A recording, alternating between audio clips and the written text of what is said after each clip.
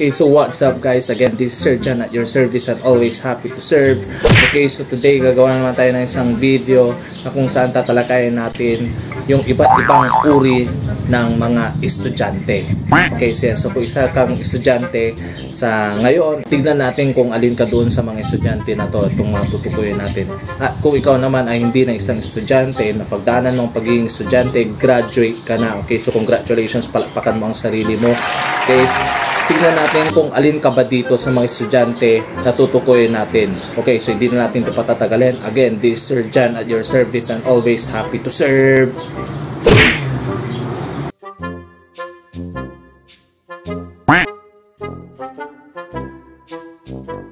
Okay, so yan na nga guys. Okay, so mapunta na tayo ngayon sa student number 1 o ang mga tinatawag natin na Einstein. Sino ba itong mga Einstein guys? Ito yung mga klase o uri ng estudyante sa loob ng classroom na kung saan sobrang tatalino guys. Pag sinabi namin sobrang tatalino guys, halos matatawag mo na silang perfect. Bakit? Pagdating sa exam, perfect. Pagdating sa recitation, perfect. Pagdating sa quizzes, perfect. Pag-submit ng formal and informal team, perfect. Pag-submit ng project, perfect. Halos ibig sabihin guys, walang mintis. Yan yung mga tinatawag natin na genius. At yung mga genius na yan, yan yung mga kadalasan na nagiging assistant ng mga teacher. Pag sinabing assistant ang mga teacher guys, sila yung kadalasan umapalit sa teacher pag kunwari lumabas si teacher, pinatawag ni principal kasi nga merong meeting, sila yung hahalili muna Parang sa ganon, walang lalabas. Sila muna yung magtuturo kung ano man yung tuturo ng teacher kasi nga matalino sila guys. Okay, so ganyan yung mga tinatawag natin na Einstein. Okay, so guys, punta na tayo ngayon sa top 2 na estudyante. Ito yung mga tinatawag natin na attention seeker. Sino ba yung mga attention seeker guys? Ito yung mga klase ng estudyante na kung saan gagawin ng lahat para na mapansin ng teacher. Okay, magtatatambling, mag-iingay, tayo ng tayo, lalabas, mag-excuse, lalabas daw, iihi, ta tatawid sa harapan ng teacher habang nagdi-discuss si teacher. Yan yung mga klase ng mga attention seeker guys. At ito pa yung mga attention seeker guys. Magtataas sila ng kamay pag nagtanong yung teacher kaya hindi sila sigurado sa kanilang kasagutan. Eh sasagot at sasagot pa rin yung mga yan. Proud na proud pa. Diba guys? Okay, yan yung mga attention seeker. Okay, so hindi ko naman sinasabi na masama yung itatry yung best para masagot yung question ni teacher. Pero sana naman sumagot tayo nung parang sigurado tayo sa sarili natin. Hindi yung para lang mapansin tayo ng teacher natin. Okay, so nagigit siya ba yun guys? Okay, so that is top 2 student yung attention seeker. Okay, so guys, punta tayo ngayon sa top 3 ng mga klase ng estudyante na meron tayo sa panahon natin ngayon. Which is yung mga tinatawag natin na contestant. Okay, so bakit sila tinawag na contestant guys? Okay, tinawag silang contestant kasi nga sila yung mga kamag-anak o pinsan o relatives ng mga Einstein guys. Okay, so ibig sabihin sila yung pambato ng mga eskwelahan pagdating sa mga iba't ibang klase ng paligsahan whether sa loob ng eskwelahan, sa district, sa division, sa region, okay, sa national guys.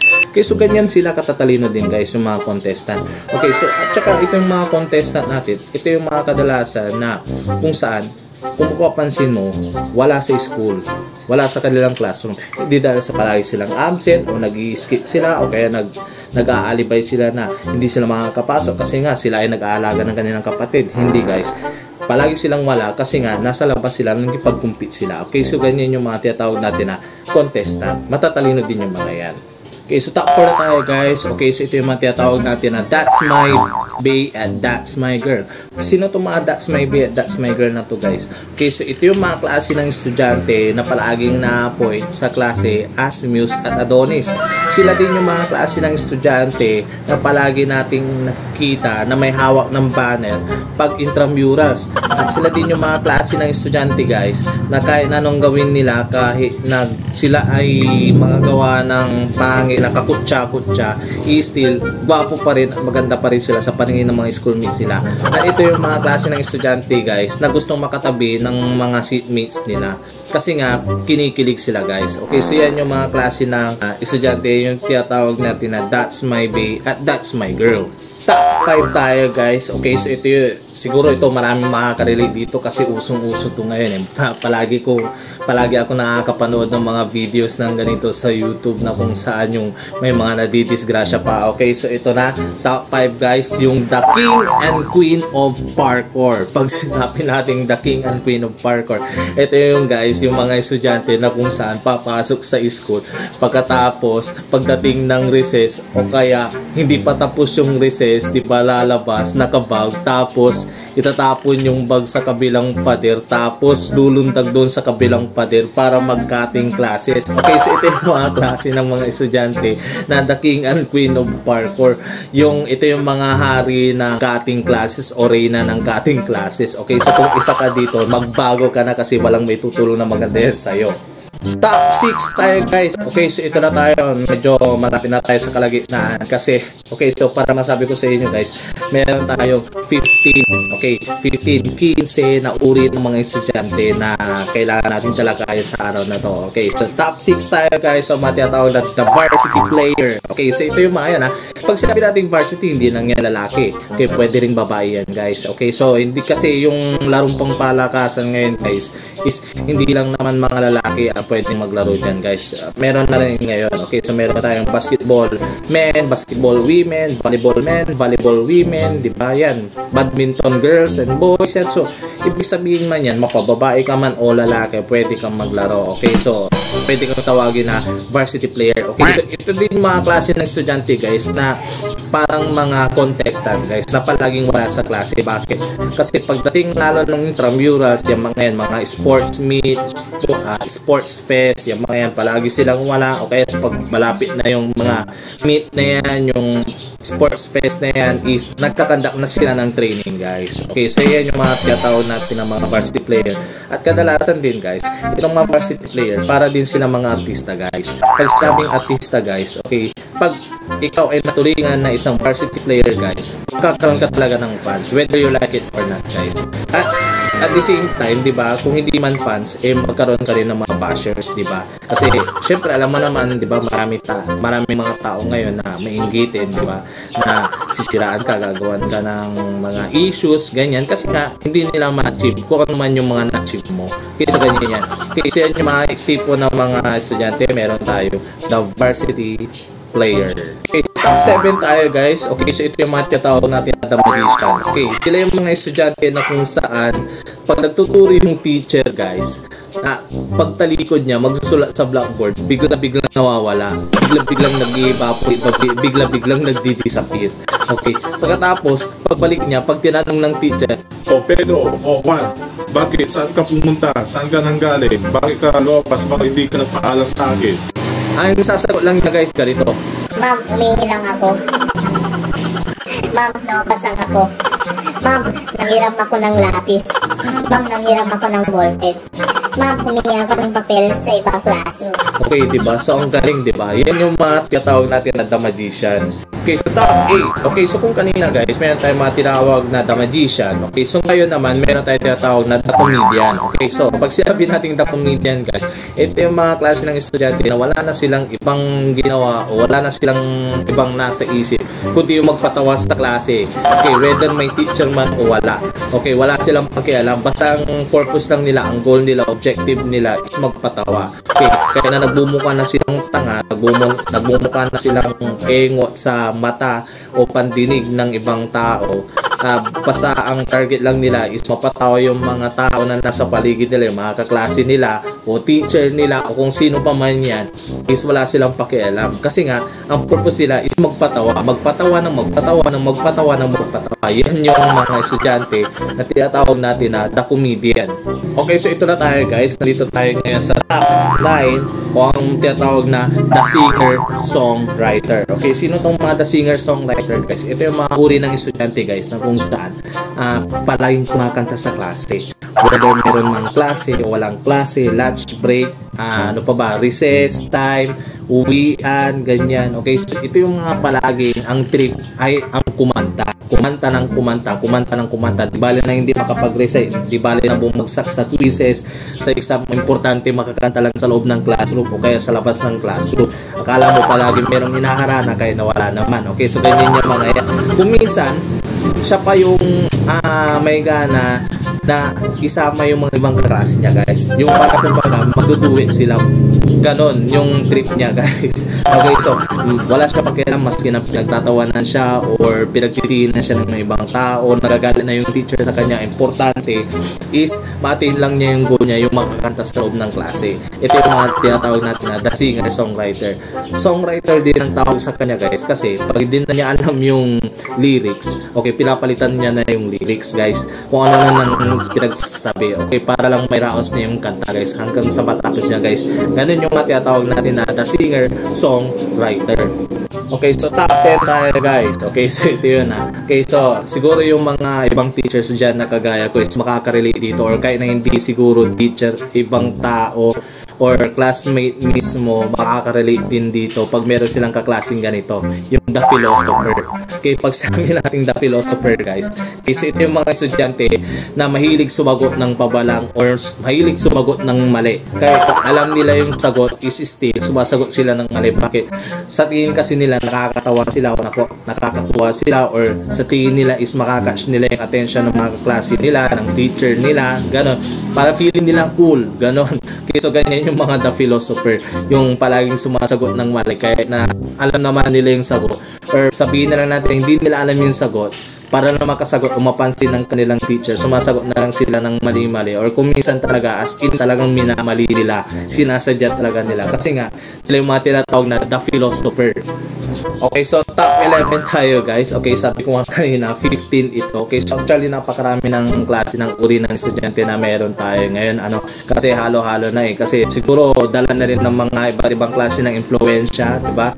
Okay, so kaya ganyan, nakakaroon tayo dumadami. Okay, yung klase ng uri ng estudyante na meron tayo ngayon. Okay, so top 11 tayo. Ito yung mga tinatawag natin na The King and Queen of Talk.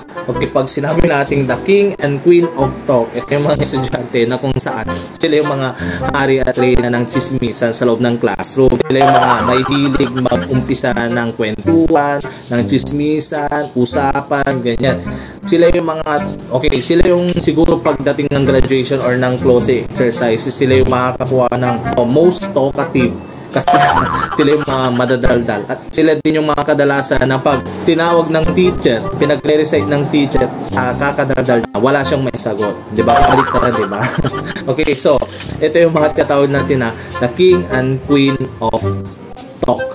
Okay so top 12 tayo guys. Top 12. Okay, so ito yung mga estudyante na tinatawag natin na the plain student. Ano ibig sabihin ng the plain student, guys? Okay, so ito yung mga klase ng estudyante, guys, na kung saan uh, normal lang. Sila yung mga estudyante na tinatawag natin na average. Okay, sila yung mga estudyante na nakakaroon ng grades ng final average ng GPA na 80 to 85% lang guys. Okay, sila yung mga hindi pansinin ng mga estudyante, normal na estudyante guys, sila yung mga estudyante na pumapasok at umuuwi, ganun lang guys. Sila yung mga estudyante na typical mo nakikita sa loob ng classroom. Sila yung mga estudyante guys na pag nagtanong ang teacher ng 10 questions, sila yung mga sumasagot ng 3 to 5 mga lang, mga ganon guys.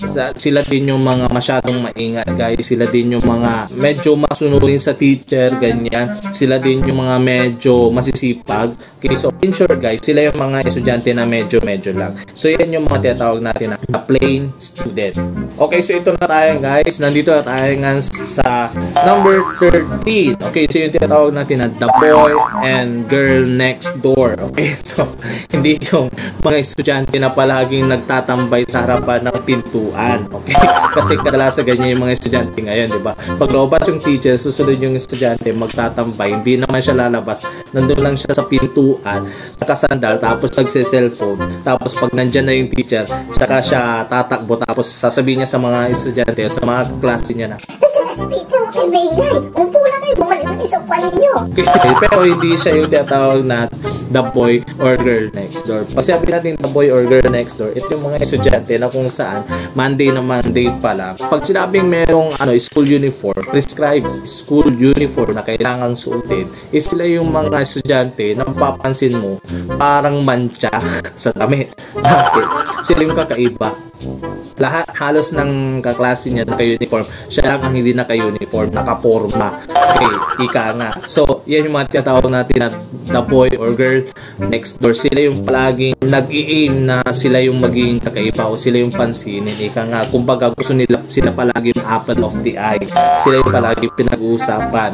Siguro yung ito yung nasa isip palagi nila. So, kung hindi man tayo gwapo, hindi man tayo maganda, danin na lang natin sa pormahan. Ganyan sila. Okay, so yan yung tinatawag natin na the boy or girl next door. Okay, so second to the last tayo guys. Okay, so top 14 student or students. Okay, so ito, ito yung tinatawag natin na the seasonal student. Okay, so pag sabi natin seasonal student, okay, ito yung kadalasan naririnig ko sa mga co-teachers ko, ano, pagdating na submission of grades or deliberation, di ba? Bakit si ganito, ganyan, ganito lang yung grades niya, bakit siya 77, 78, 79? Oh, kasi daw, kada exam lang po papasok. Okay, ibig sabihin, parang malaapat na beses o sabihin na natin pag sinabi natin ang school days, number of school days is 202 days, kalahati lang nun yung pinasok niya. Ibig sabihin seasonal, ika nga parang pag gusto lang niyang pumasok, trip lang niyang pumasok, papasok siya. O kaya pag sabihin na lang natin, siguro pag malaki-laki yung baon niya, yun papasok siya. O kaya pag merong mga program sa school, may mga activities sa school, ganyan, papasok siya. Okay, so ganyan yung mga tinatawag natin na mga seasonal students. Okay, so last guys, and definitely not the least, hindi ito mawawala guys. Hindi ito mahuhuli. Kasi ito yung tinatawag natin na trending ika nga.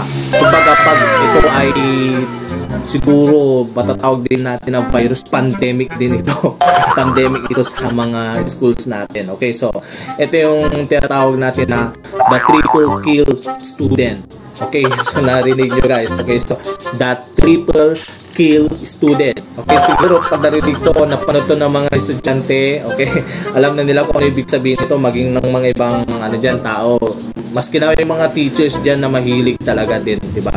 Na nakaka-relate dito pag sabi natin na the triple kill. Okay, pag narinig yung triple kill, alam na nila kung ano ibig sabihin niya. Games, okay, gamer. Okay, so ito yung mga klase ng mga estudyante na gamer. Okay, ibig sabihin, uh, hindi sila maawa sa paglalaro guys okay? So maski na nasa classroom sila ongoing yung klase kahit na pa nga exam pa nga o kaya nagkakaroon ng graded recitation ganyan okay? O kaya nag-monitor lumilibot yung teacher still pipiliing uupo doon sa likod para hindi mapansin ng teacher, okay? Kasi para sa ganun makapaglaro, makapag-ML, LOL, ROS, mga ganyan, PUBG, yan yung mga nilaro nila, guys. Okay, meron tayong tinatawag na gamer o yung tinatawag natin na triple kill student. Okay, so yan guys. So, yan, naibigay ko sa inyo yung mga top 15 uh, na uri ng mga estudyante na mayroon tayo ngayon sa panahon natin ngayon. Okay, so guys, so kung mapapanood nyo naman ito ngayon kay uh, ordinary mga mayan, mga magulang, mga estudyante or teachers, di ba? Okay, so try to assess yourself. Okay, especially yung mga estudyante, try to assess yourself or try to identify yourself hanapin nyo yung identity ninyo doon sa mga estudyante na nabanggit ko kanina. And then, uh, tanong nyo sa sarili ninyo kung meron ba talagang magandang naidudulot yung pagiging ganyan ninyo sa sarili ninyo And then kung wala naman is hindi pa huli ang para magbago guys. Okay? So, yan. Naibigay ko na sa inyo. Sana na-enjoy ninyo itong video na to. Again, this is Sir Jan at your service and always happy to serve. Bye guys!